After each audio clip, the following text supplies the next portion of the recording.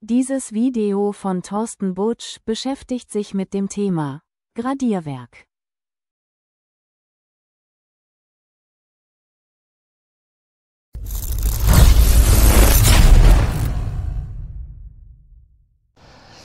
Heute sind wir auf dem Johannesberg und das hier unten ist Bad Nauheim. Und genau dort schauen wir uns den Gradierbetrieb an, also Gradierwerke. Diese sind Teil der Salzherstellung. Im 18. Jahrhundert hat Bad Nauheim nicht nur eine der größten, sondern auch modernsten Siedesalinen Europas betrieben. Von den knapp 30 Gradierwerken sind heute nur noch fünf in Betrieb. Diese werden allerdings weiter gepflegt, nicht mehr zur Salzherstellung, sondern für den Kurbetrieb. Es ist ja eine Kurstadt. Aber nicht nur im 18. Jahrhundert, bereits schon die Kelten haben hier Salz gewonnen. Und zwar auch mit Sidesalin. Und das Problem bei den Siedesalinen ist, man braucht Brennstoff dafür. Sieden, kochen, klar. Und die Gradierwerke, die helfen dabei, auf sehr pfiffige Art und Weise Brennstoff zu sparen. Wie das jetzt genau funktioniert, das gucken wir uns gleich im Detail an. Aber kurz nochmal, wenn wir schon auf dem Johannesberg sind, die Römer waren auch hier in Bad Nauheim, nicht nur des Salzes wegen. Hier auf dem Johannesberg ist ein römischer Signalturm, etwa 100 bis 200 Jahre nach Christus entstanden. Und diese römischen Fliesen, auf denen ich stehe, sind damit 1800 bis 1900 Jahre alt. Hier kommt sozusagen die Sohle, die schwachprozentige äh, Salzsohle aus dem Boden und wie man äh, der Farbe schon entnehmen kann, ist die auch sehr eisenhaltig. Das bedeutet, dass man da offensichtlich auch Stoffe drin hat, die man nicht da drin haben möchte. Und naja, verfolgen wir mal den Weg der Sohle.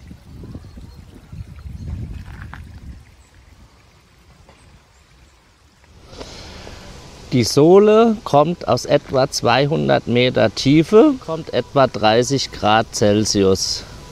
Und in diesem künstlich angelegten Kanal fließt sie in ein Sohlebecken.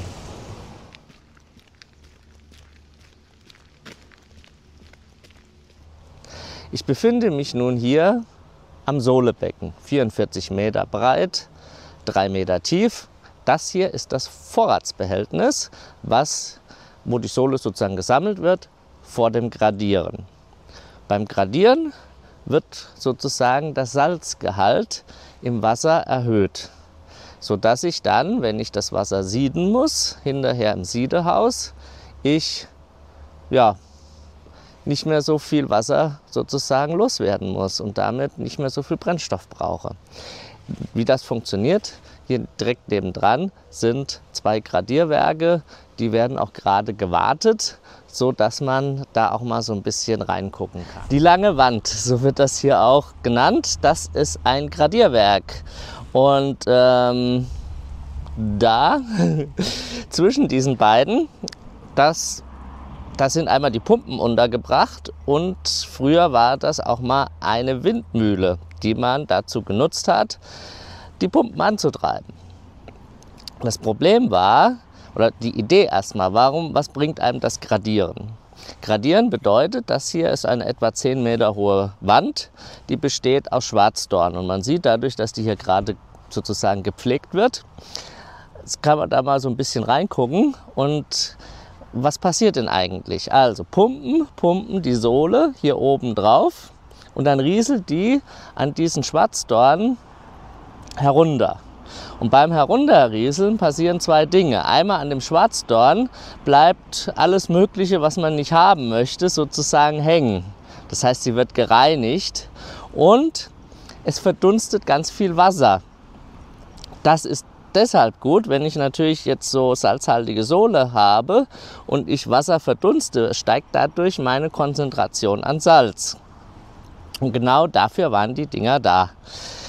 Man hat so ein bisschen natürlich äh, jede Menge Energie gebraucht. Die Windmühle war eigentlich als Ersatz gedacht. Angetrieben wurde das in der Regel durch Wasserräder. Und äh, wir werden gleich eins noch äh, uns angucken. Das ist sogar relativ weit weg von hier, also ein paar hundert Meter. Weil das Problem war halt, ein Wasserrad bringt ja auch nur dann was, wenn es sich dreht. Also man muss ja auch Wasser haben, um das Wasserrad anzutreiben. Und äh, die Usa hier, also der Fluss, der hat nicht immer im Sommer auch Wasser geführt. Und hier in der Nähe ist auch noch die Wetter, der Fluss, der Wetterau den Namen gegeben hat. Und da hatte man auch im Sommer Wasser. Und das hatte man dazu verwendet, um die Pumpen anzutreiben, die dann hier sozusagen das äh, Wasser oder die Sohle hochgepumpt haben. Später hat man tatsächlich das dann auch mit äh, Kohle, äh, ein Kraftwerk gehabt, was äh, mit Kohle betrieben worden ist, was zusätzlich gepumpt hat. Jetzt ist natürlich die Frage, warum macht man es heute noch, wo doch die Salzgewinnung auf diese Art und Weise viel zu teuer und umständlich ist. Natürlich ist das ein schönes Denkmal, und ähm, daher wird das natürlich auch gepflegt. Aber es ist ja Kurstadt.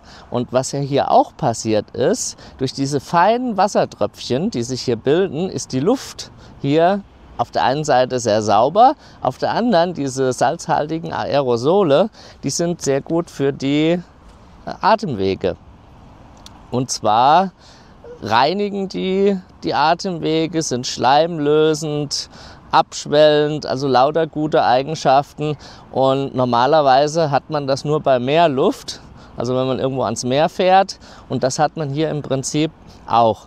Das heißt, die werden sozusagen als Inhalatorium weiterhin betrieben für die Kurgäste.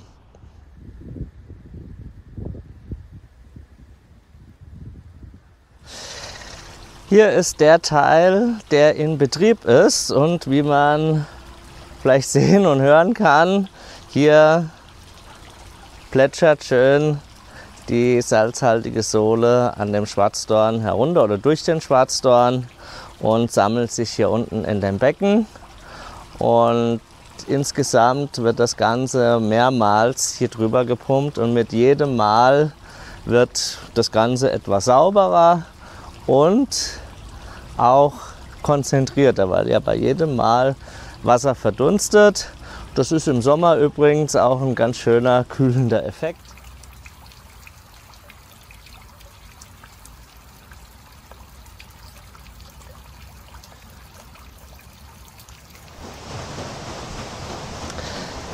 Hier bin ich nun am Schwalheimer Rad.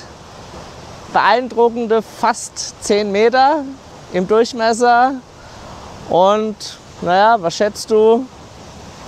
Wie viel Leistung wird es bringen? Vielleicht in Pferden. 12 PS.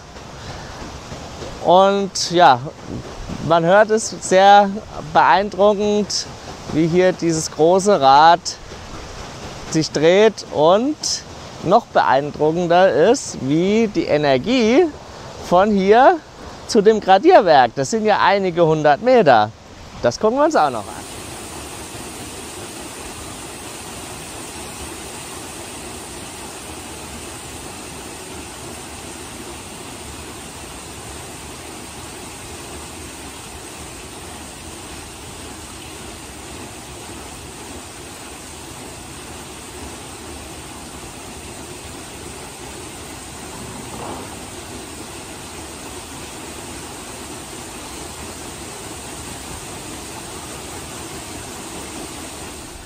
Das waren mal mehrere hundert Meter, ich glaube 600, die hier mit Hilfe dieser fahrenden Baumstämme überwunden worden sind. Und man sieht hier, wie die schön langsam hin und her fahren und auf diese Art und Weise die Energie zu den Pumpen gebracht haben. Und das alles nur weil man halt eben einen Fluss brauchte, der auch im Sommer Wasser führt und damit den äh, Gradierbetrieb aufrechterhalten konnte, auch sozusagen im Sommer. Und Was hier auch noch beeindruckend ist, manche dieser ähm, Schienen, die sind hier so gebogen, so praktisch wie so eine Wippe. Und das Problem, was man hier nämlich hat, ist, wenn das an einen der Endpunkte kommt, muss das Ganze ja abgebremst werden und in die andere Richtung beschleunigt werden. Und wenn man so eine Art Wippe hat, dann wandelt man sozusagen gegen Ende der Bewegung einen Teil der Energie in potenzielle Energie um, die man wiederum nutzen kann, um es wieder sozusagen, wenn die Richtungsumkehr ist und man das wieder in die andere Richtung beschleunigen